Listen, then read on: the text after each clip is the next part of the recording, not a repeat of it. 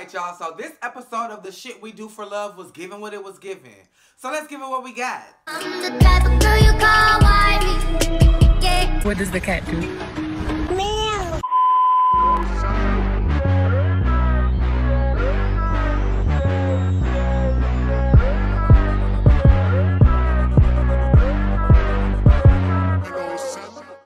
So this episode starts off with Timmy and Rara sitting down because apparently when Timmy and Tim got put out the party, Rara was in the number of people like shoving them out the door and Rara said to Timmy, I'm gonna beat your ass. And so Timmy was like, okay, so since you said that, was good. That's exactly how the conversation kind of started off. When Timmy and Rara sat down, Timmy was like, okay, so you said you was gonna beat my ass? And Rara was like, whoa, when did I say that? And I can kind of understand, like, if you caught up in a moment and you trying to, you know, resolve a situation and somebody getting hype with you, bitch, and, you know, like, you kind of bug back. And Timmy told him that. You kicked us out the party, and that's when you said you was gonna be my ass. And Rara ultimately apologized. They talked about the situation. We resolved that Timmy is gonna stand up for Tim, obviously, and Rara is gonna stand up for Travis because that's his friend. D'Angelo and Timmy go to counseling. So they go and sit with this guru and they start to talk about their relationship and off rip, it's like, now wait a minute, we gotta dive deeper. Because when the man asks the first question, how was your relationship? D'Angelo responds, it's fine. And the man is like, okay. Let's dive deeper because if I were to fix you a five course meal and you responded with it's fine, I would feel offended. And that's when we get to the meat and the potatoes of the goddamn manoosh, bitch. Apparently, D'Angelo is afraid of commitment. D'Angelo was like, uh-uh, bitch. Uh-uh, I lost my mama and I just, uh-uh. I told myself I would never be the same and I just don't like to get attached to people. And D'Angelo, I can understand, baby. I lost both of my brothers and I don't, even some family. I'm just like, mm-mm. I have a huge problem with reaching out to people. Like, I'm always here if you want to text and reach out or call me and talk. I'm always here, but you'll more than likely never see my name pop up on your screen because I just don't reach out to people. And I think that's, you know, due to losing people. And I just maybe put up a wall so that I don't get too close to people. But child, with this heart that I have, it's inevitable that I will get close to people and I just have to just release that fear that I lose everybody that's close to me. Because my mom is still here, my dad is still here. You know, I still have family, but losing my brothers was just really traumatizing for me. But this is not about me. So let's get back to the story. So, um, Antonio was like, yeah, bitch, we eight months in, though. I mean, after eight months of us sleeping together all the time, going places, and, you know, again, knocking boots all the time, I would assume that we would, you know, put a title on this and call it what it is. We cannot just continue to be friends and we body rocking, knocking the boots. And so then they dive into D'Angelo losing his mom five years ago, and then he brings up jealousy, and he was like, I always think he's jealous. And the guru was like, so when does he show you that? And D'Angelo was like, well, he really don't show that he jealous. I just, and that's when we got into the minutiae, baby. You make us think, oh, girl, oh, thank you. This is really just my life story. Sometimes I will make and create, pro well, make and create is the same thing. I will create a problem that doesn't really exist just so that I can have something go wrong in the situation because maybe for a long period of time, I was addicted to trauma. I was addicted to pain. I was addicted to loss. Like I knew that this was inevitable. And it's, I remember telling somebody when life was good and I went to LA, I'm just waiting. You know, I know that, you know, life is ebbs and flows. So I know that this is going to end and I'm going to have some traumatic things happen to me. And before the end of the year, I went through one of the darkest depressions I've ever had. And I think I called it on myself because I was just so like, uh, I don't belong in this happiness. I don't belong in this peace. I don't belong in this joy. I don't belong in this financial wealth. Like, it, it just, I don't know. Like, it, it really fucks you up. So when they got to talking about D'Angelo's mom, he really kind of broke down because the guru was really kind of reading him and was like, girl, this is who you are and this is the type of person you are. And he was like, oh my God, oh my God, it's so right. It's so true. And then he got himself together. And then Miss Guru was like, this is what I want you to do. I want you to celebrate your relationship every month. Do something. Have date night. Do something. And Child D'Angelo was like, oh my God! And broke down again.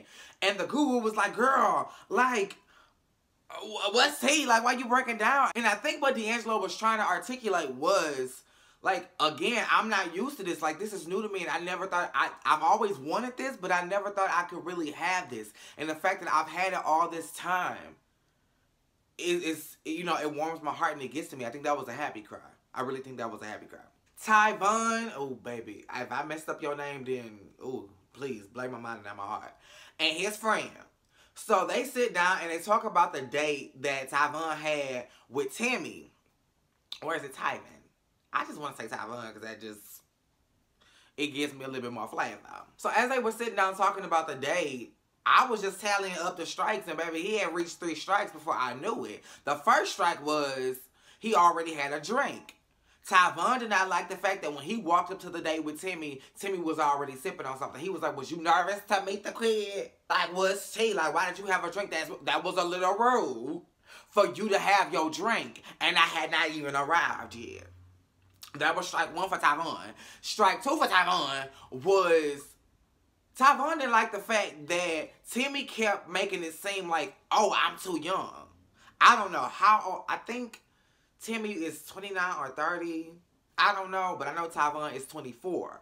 And he was like, well, bitch, I live just as much as you. Baby, age is nothing but a number, but here, here's my thing. I would have shut it down at the root. I have an age limit that I'm not willing to go under just for my own personal preference. 24 was under that number. So I, we wouldn't have seen each other to begin with. But the fact that you agree to this date, don't don't start tallying up things again. And I'm talking to you, Timmy. Don't start tallying things up against Tyvon as soon as you, oh, you too young. Oh, you this. Uh, don't do that. Give the boy a chance. Give the date a chance. And you may realize that you actually like this guy. If not even for a long-term situation, y'all may just date for a couple months. You know, maybe it's ill not easily, it's also pleasely. And, you know, you, you just never know what could come from a situation. And then strike three. Now, strike three for Tyvon would be all three strikes for me. Because I like what I like. Hallelujah. Tyvon said he felt like Timmy was giving fake trade. Now, I don't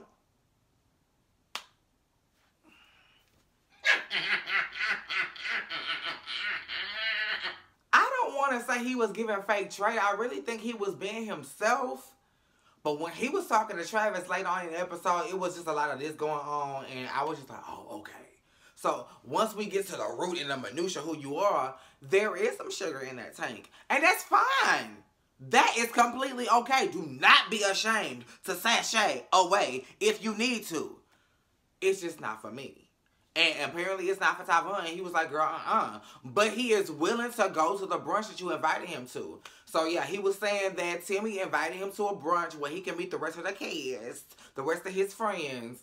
And he was willing to go so he could really just meet everybody and kind of get acclimated with the group. Hallelujah. Speaking of Timmy, this is a perfect segue. We then see him sit down with Travis. And um, Travis was already dismissive by the time Timmy sat down because Timmy was late. Now, mm, here's my thing. If you was in that much of a time crunch, Travis, I wouldn't have agreed to this time slot. Baby, let's let's meet after my second gig or let's meet on another day because I have to like that would have been my time to eat in between gigs. So I, I wouldn't have even wanted to talk to anybody. You know, especially with you saying that you was not in the right headspace. But yeah, he was really dismissive. And I'm the type of person, okay, I get that I'm late, whatever. But what I did not like about what Travis was doing was as Timmy was talking, he was like, okay, get to it. Okay, come on. Okay, I ain't got the time, baby. Come on, get to it. Like, cutting him off. Like, I, how can I get to it if I can't speak? I, I, need to be able to speak, and I get that I may be dragging it out and giving you this long prelude. Shout out to Scotty and Jamal. But girl, let me say what I gotta say. Let, because obviously I'm getting somewhere. You wanted me to have the floor. You wanted me to start this conversation off. Boom. Let, let me do what I got to do. But with all that being said, I'm team Travis on this one. Travis was like, well, why did you bring him in the first place? Like, fuck what he got going on with Malcolm. You know I don't like him, and this is my birthday party. And crazy enough, I was able to have my birthday party on my birthday. A lot of people don't get to do that because people's birthday falls in the middle of the week. So this was my actual birthday. So of all days to bring the fuck shit to me, You brought it on my birthday, my personal new year, and I like that term. And Timmy, for your response to be, for your only response to continuously be, well, you caused the scene. He was just defending himself. Bitch, it's my part. Have you not heard the song? Like, I just didn't understand how you felt like y'all were right in causing friction at this boy's party. And then for you to say, well, I'm not here for all that. Yes, oh, then baby, you didn't wasted 10 minutes of my time arguing with me about something you never came to talk about. As soon as Travis would have said, well, why did you bring him of all that, da, da, da, I would have said, okay, I get that. But I'm really here to just talk about me and you. And I know that you on a time crunch because that's what you said when I first sat down. So let me just talk about what, boom. You chose to waste this man's time. Only to say, well, I didn't even come here for that. And then the heat get turned up, bitch. Travis was like, well, girl, at the end of the day, you kind of left a sour taste in my mouth. Like, girl, I'm not feeling you right now. So, mm, as far as us being friends, girl, I don't know. I don't need that. I really have a good life right now. I have a man, the love of my life, and I have other things going on.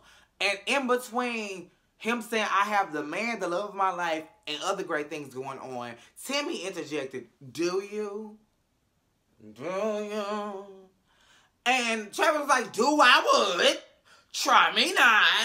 And I think the words rent a dude were mentioned. Now this, oh, hallelujah, thank you, Jesus, explains why Travis was down my throat when I made my assumption and my observation in episode one. Because I guess I was on par with what the word around town was. To be truthfully honest, I have no connections in Atlanta, Georgia.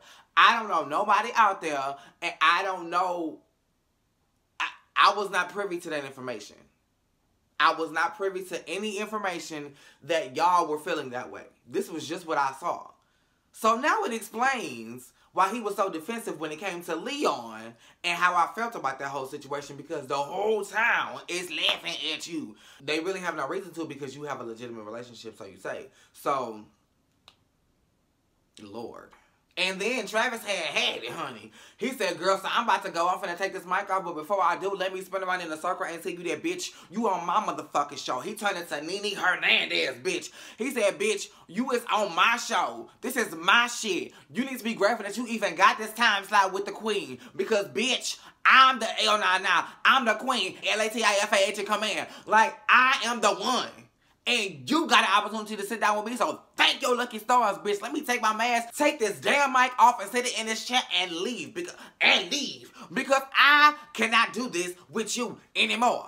And then the episode ends with the date night that the guru suggested for D'Angelo and Antonio. It was real cute, hallelujah. They had they played cute little games. They was talking about the session and should they go back. And um D'Angelo needs to work on cutting people off. And stop getting mad at your man because he want to mix Adidas and Jordans together. Hallelujah. Because, uh, ooh, girl, I despise people who wear Jordan clothes. Ugh. I don't know. Jordan has just never been a fashion icon. So, I mean, I, I can see the Adidas. You know, I can see the Ivy Park with some Jordans. I can see that. But yeah, that was the episode, and that was what it was given. Um, I really love Antonio for D'Angelo. I, I think me and D'Angelo would click because we are the same person. When he said, you always the one being late, bitch, because you went out the house and you forget something, you always gotta run back. That is me to the T, bitch. But yeah, this episode was given what it was given, so I gave it what I had. Make sure you were liking, commenting, subscribing, and that the notifications are on, girl. Same place, same time.